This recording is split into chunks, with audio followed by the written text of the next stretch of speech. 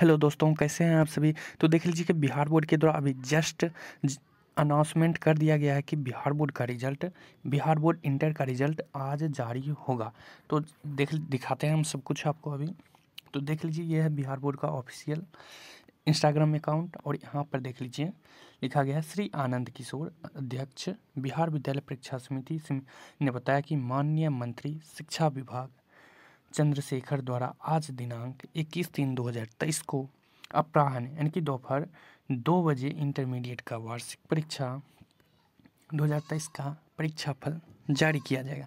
और ये सच है कि और आप लोग कैसे इसका रिज़ल्ट देख सकते हैं तो चलिए वो भी बता देते हैं। दो बजे आप लोग हाँ रिज़ल्ट जारी हो जाएगा। आप लोग आज देख लीजिएगा। ये ऑफिशियल अनाउंसमेंट है, ठीक है? तो चलिए रिज़ल्ट कैसे चेक करते हैं वो भी बता देते हैं, ठीक है? तो सबसे पहले आपको गूगल या क्रोम खोलना है।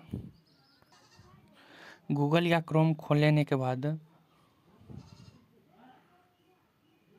आपको B S C B result, link. हर बोर्ड इंटर मैट्रिक रिज़ल्ट देखने के लिए आप लोगों को ये लिंक कहाँ से मिलेगा?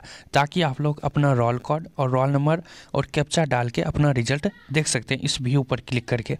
तो ये कैसे आता है? तो चलिए मैं आप लोगों को इसका लिंक दे देता हूँ और आपको बता देता हूँ कि ये कैसे आता है। तो सबसे पहले आप लोगों को गूगल या क्रोम खोल लेना और यहाँ पर लिखना है, देख लीजिए B S C B twelfth result link ठीक है? इस टाइप से लिखिएगा और इसी पर सर्च कर दीजिए। लिख के सर्च कीजिएगा तो यहाँ पर आप लोगों को मिल जाएगा Bihar school examination board, Patna. तो ये बिहार बोर्ड का ऑफिशियल वेबसाइट है। इसी पर रिज़ल्ट जारी किया जाएगा। तो इस पर क्लिक करना है। जैसे ही क्लिक कीजिएगा तो यहाँ पर तीन लिंक, चार लिंक मिल जाएगा। तो ये सब में से जो सबसे ऊपर है ये, इस पर क्लिक करना है। जैसे ही आप लोग क्लिक कीजिएगा तो देख लीजिए यहाँ पर खुल के आ गया है।